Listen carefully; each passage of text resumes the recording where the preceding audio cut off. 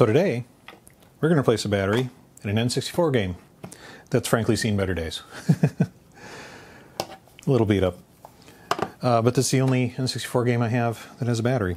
So, all right, like all Nintendo cartridges, you use the small game bit to get it open. Right, undo the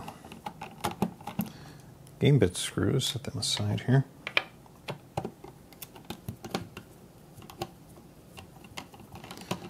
All right. Now, N64 games are a lot more complicated to get open than the Nintendo or Super Nintendo. So you pull on them. This comes off. Ugh. What happened here? Something got in there at some point. What the hell? Anyway, um, so the cartridges have shielding. And I'm not sure why they made this so complicated, but to get the shielding off, you need a uh, small Phillips head screwdriver to get these two screws out. Oh, they're they're sometimes tight, so you don't want to you don't want to force it. But don't be afraid to put a little elbow grease behind it, you know. It's when having it's when having the proper tools helps, you know. Okay, so now we can take the shielding off. There, comes off. Curious what happened here. All right, and here's a battery right there on top.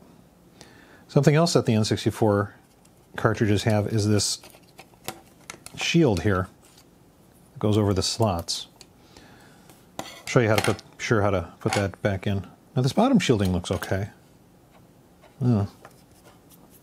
Something got in here. Water must have got in here soda or something. Must have got in this cartridge at some point. I don't know. I bought it used. So anyway. So here's our N64 board. On this one, the positive positive side of the battery is the one that's the side with the writing on it. The positive uh, peg or tab is going to the top of the board. So you want to keep that in mind the negative is going to the bottom. So, all right, grab our helping hands.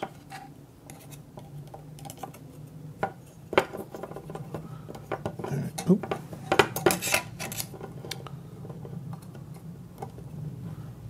Tighten things down. All right. Clean off our iron. We always have a nice clean iron. Put a touch of solder on there. Get our solder sucker ready. Heat up the tab and the pad and the solder pad on the board at the same time. Suck off the solder. That came off really well. I think we might get lucky on this one and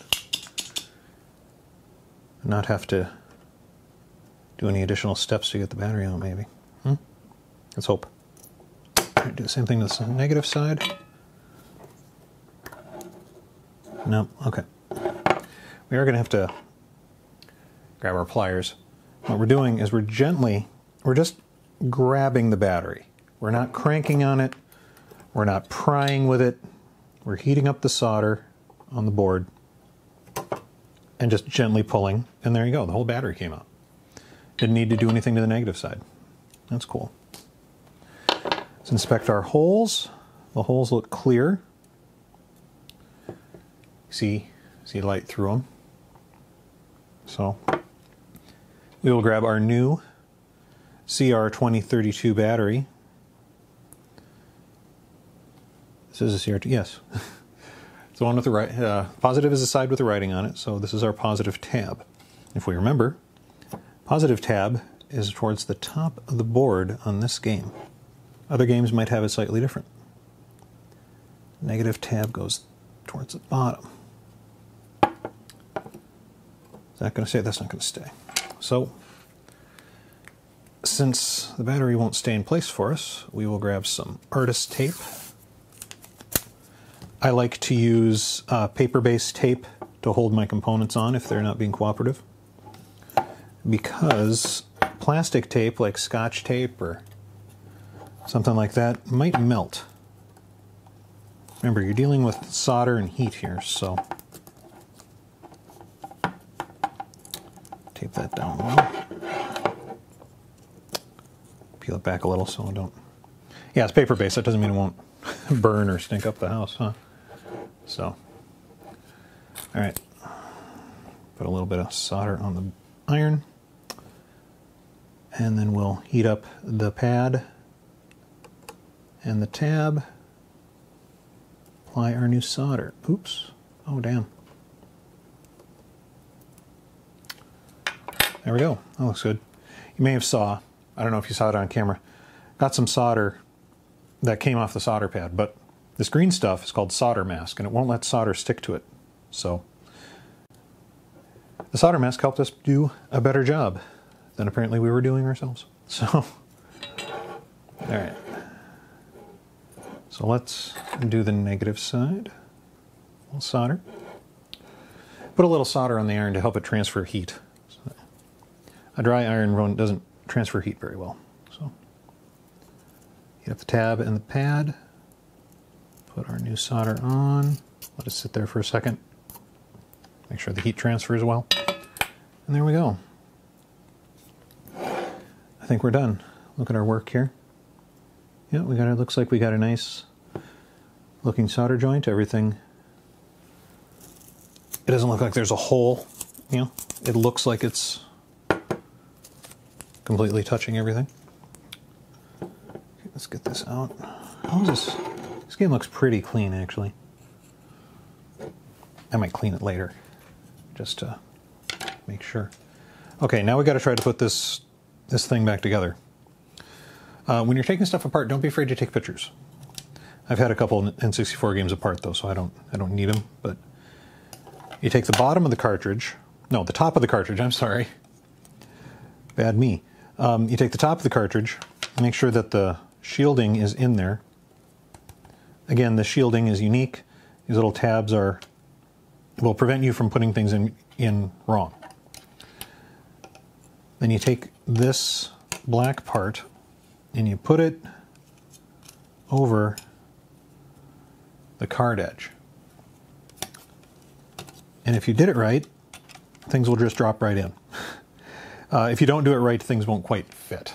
This black piece will keep it from fitting. Why? I don't know why they had to make this car this cartridge so complicated. It's kind of annoying. All right, now this piece of shielding goes over everything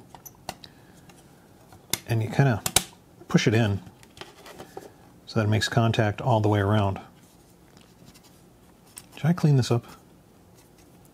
Maybe some other day. I'll clean up that rust. Take some emery paper or something. All right, so this the shielding, the top shielding is on, feels like it's on there well. Now we need to screw it down with its tiny screws.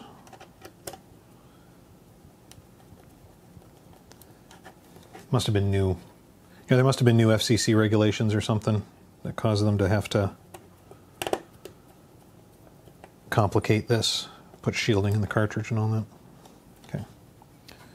Everything's fitting well. Put the back of the cartridge back on. All right. Get our game game bit screws.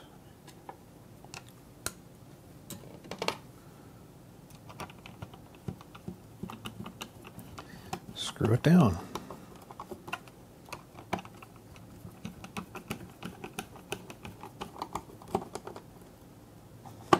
All right. Let's test this out, see if it worked. All right, now I'm not entirely sure which what saves with the battery. Is score? Maybe? I don't know. Well, here, let's just change all the batteries, all the, uh, the options here.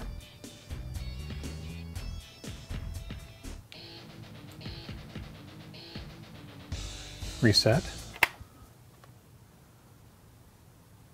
Things get synced up here. Yeah, yeah. Don't have a roll pack in. Oops. All right, and all the uh, options stayed. So, I wonder what happens if I turn it off though. Then turn it back on. Get the Framemeister and a TV time to sync up here. Here we are. The options should be there. Okay, yes, and the options are still the way I had them set. So, the battery works. Excellent. Thanks for watching. Thanks for checking out my battery replacement video for N64 games. I have several videos on replacing batteries and other minor video game repairs. Check them out in the playlist I've linked to here. And if you like video game reviews, I do those too.